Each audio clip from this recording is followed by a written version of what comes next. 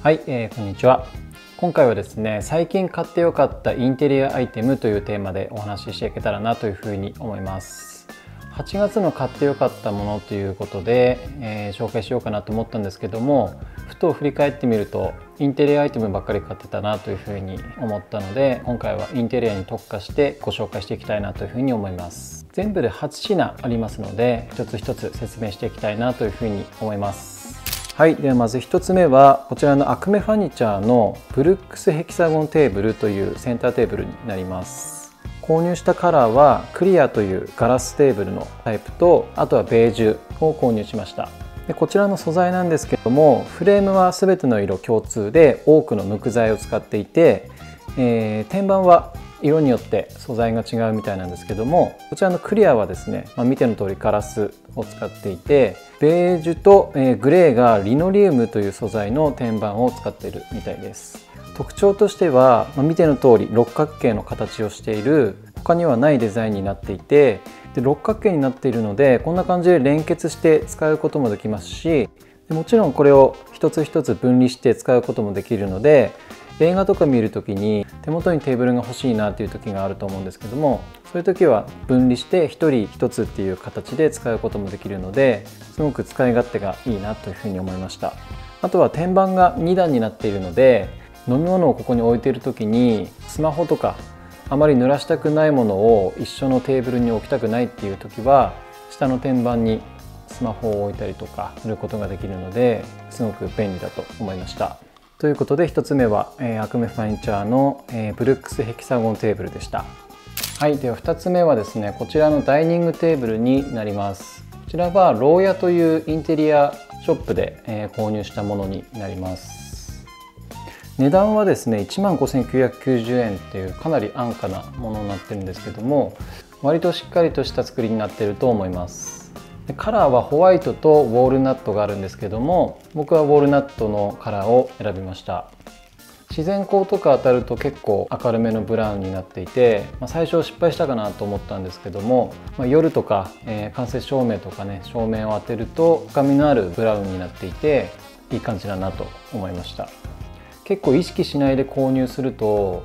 四角い形のものばかりになってしまうと思うのでその中にこういう丸いものがポンと置いてあると、えー、すごくインテリアのアクセントになっていいんじゃないかなと思いました。で素材は、えー、月板っていう素材で、まあ、素材というかその手法なんですけども、まあ、表面だけ金が貼られていてこの中は木じゃないんですねなのですごく重量も軽くなっていますしあと値段もねそれだけ抑えられるっていうメリットがあるんですけどもかといって安っぽく見えるかっていうとそうでもないので、まあ、そんなにねあの予算かけられないっていう方にはこういうのも選択肢の中の一つとしてありなんじゃないかなと思います。はいでは3つ目はですねこちらのダイニングチェアになります。Y チェアっていうかなり有名な椅子があると思うんですけどもこちらのリプロダクト品になります。Y チェア自体は8万円とか9万円とかすると思うんですけどもこれはですね2万2000円ぐらいでかなり安価に買えるものになっています。デザイン的にはほぼ Y チェアを再現したようなデザインになっているのでこれが一つ置いてあるだけで結構様になるアイテムになってるんじゃないかなと思います。素材はですね座面がペーパーコードになっているので割と座り心地はいいと思います。フレームとかはですねブナの無垢材を使っていますので天然素材なのでかなり丈夫な椅子になってるんじゃないかなというふうに思います。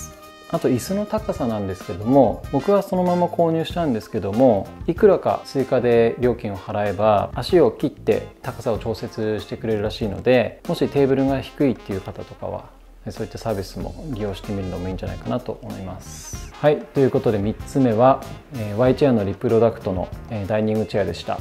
はい、では4つ目は、えー、こちらのまたアクメファニチャーの、えー、カルバーチェアという折りたたみチェアになります。ちらはですね本来、まあ、来客用とか、まあ、そういったサブのチェアとして、え売られているんですけども結構作りもしっかりしているのでメインのダイニングチェアとして使ってもいいんじゃないかなというふうに思って、え購入しました。デザイン的にもアクメファニチャーらしいアメリカンヴィンテージのデザインになっていてすごく雰囲気のある一脚になっています。で素材はですねラバーウッドを使っていてで座面のところはビニールですね。これは本革じゃないみたいです。クッション性も結構あるので座り心地も全然悪くないと思います。ただですね座面が結構狭いので硬いがいい方とかはもしかしたらちょっと狭いのかなというふうに思います。折りたたむのもすごく簡単でですねこんな感じで上に引っ張ってあげれば、えー、折りたたむことができます。折りたたんだ時のデザインもすごくかっこよくてですね、まあ、裏側にはアクメファニチャーっていうロゴがこういう銀のプレートで貼ってあったりとかあとは表側はこんな感じになっています。ということで4つ目はアクメファニチャーのカルバーチェアでした。はい。では5つ目はですねこちらのテーブルランプになります。こちらはですね税込みで3980円になります。最初アクメファニチャーとか、え、ヴィンテージとかねそういったところで探してたんですけども、ま、ちょっとねそこまで予算出せないなっていうところだったので、まあ、なんかいいものないかなというふうに、えー、ネットで調べてたらこれを見つけました。全然安いんですけども安っぽさが全然なくてですねこのシェードは麻の素材を使っていて、えー、かなりきなりっぽい色になっています。の土台の部分は天然の木を使っていて、えー、ゴムの木を使っているそうです。電球はですねここの家の間接照明全部 IKEA のトロールフリーっていう、えー、スマート電球をつけているのでこちらもスマート電球をつけて Alexa で操作できるようにしています。結構ヴィンテージライクな、え、デザインでこの家の他の照明とかとも相性が良くてすごく気に入ってます。はい、えー、次はですねこちらのウォールシェルフになります。ちらはですねかなり幅の狭い、ウォールシェルフになっているので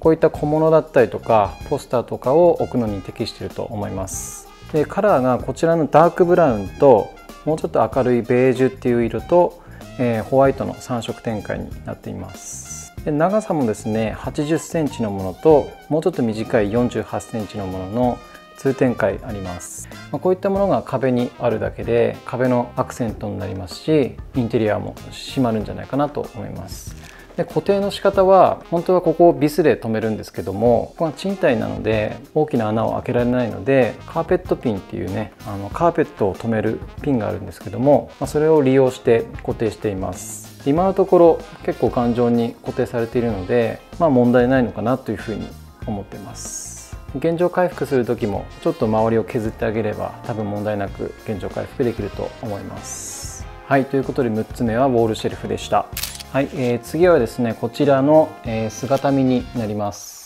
デザイン的にはかなりシンプルなデザインになってるんですがアンティーク調の加工がされていたりとかあとはこの大きさがですねすごくいいなと思いました。高さが160センチぐらいあって横が90センチぐらいあるのかと思うんですけどもやっぱりこういう大きい鏡を部屋に置くことですごい奥行きが生まれたりとか、まあ、広く見えたりっていう効果もあると思いますしあとは服のコーディネートを見る時もやっぱり大きいとすごい見やすいですし服選びもすごく楽しくなったなというふうに感じています。はい、えー、次はですねこちらの山崎実業さんのマスクケースになります。こちらはですねこんな感じで30枚マスクを収納することができるので約1ヶ月分のマスクをこちらに収納することができます。下の部分がこんな感じで開いているので1枚1枚こんな感じで取ることができます。裏にはですねマグネットがついているのでえー、玄関の扉とか冷蔵庫とかそういったところに、えー、つけることができます。もちろんこのままテーブルに置くこともできるので 2way で使えるようになっています。上の部分はこんな感じでトレイになっているのでこういった玄関先でよく使う印鑑とかあとは鍵とかですねそういったものを置くこともできます。マスクって意外と収納場所に困ったりしていたのでまこういったマスク専用のケースがあるっていうのは結構、えー、便利だと思いました。デザインも当たり障りのないすごいシンプルなデザインになっているので、ま、どんなインテリアにでも馴染むんじゃないかなというふうに思います。1点欲を言うとしたら箱入りのマスクって大体50枚ぐらいで売っているのでちょっとだけ余っちゃうんですね。なのでもうちょっとだけ容量があったらなお良かったのかなというふうに個人的には思います、まあ、とはいえすごくねあの使いやすい、え、ケースなので、えー、すごく重宝してます。ということで9つ目は山崎実業さんのマスクケースでした。はい、えー、次はですねこちらのアイリスオーヤマの、えー、コードレス掃除機になります。ちらはインテリアというカテゴリーからは少し外れてしまうんですけども、えー、ご紹介させていただきます。いつもはですね、えー、床掃除はロボット掃除機にほとんど任せているんですけども、まあ、寝室だったりとかちょっとロボット掃除機が入りにくい箇所が多々ありましてそういうところを掃除するように今回購入しました。でこちらはですね1万円台で買えるすごく安価なモデルなんですけども自走式のヘッドがついていたりとかあとは重量も 1.5kg とすごい軽かったりとかしてこの値段に対してはすごく評判のいい、えー、モデルになっているみたいですね。Amazon のレビューとか見てもすごくいいですしで Amazon のベストセラー1位になってるものになりますね。でバッテリーはですねブラシ回転なしでフル充電で27分連続稼働可能でブラシ回転ありであれば最大20分連続稼働できるというふうに公式サイトには書いております。だいたい4時間で充電がマックスに、えー、なるみたいですね。でアイリスオーヤマのコードレス掃除機は3種類あるみたいで一番下のエントリーモデルは自走式のヘッドがついてないモデルになっていてでその次のモデルがこれになって自走式のヘッドがつく感じになります。でこの上のモデルになると置くだけ充電みたいな、えスタンドがついてるものになるみたいですね。何週間か使って感じたんですけどもやっぱり 1.5kg っていう軽量さっていうのもあるんですけどもやっぱり自走式のヘッドがついてると掃除してる時にものすごく楽だなというふうに感じました。もう小指でも持てるぐらいの、えー、重さなので全然ストレスなく掃除ができます。吸引力もサイクロン式ということですごくありますしヘッドを外せばハンディクリーナーとしても使えますので、ま、掃除機としての必要最低限な、え、性能は兼ね備えてるのかなというふうに思います。でカラーはブラックとホワイトの2色展開になっていて、まあ、ちょっとしたねこういうヘッドの部分とかが紫になっていたりとかしていますね。はいということで最後はアイリスオーヤマのコードレスクリーナーでした。はい、えー、ということで今回は、えー、買ってよかったインテリアアイテムというテーマで、えー、いろいろとご紹介させていただきました。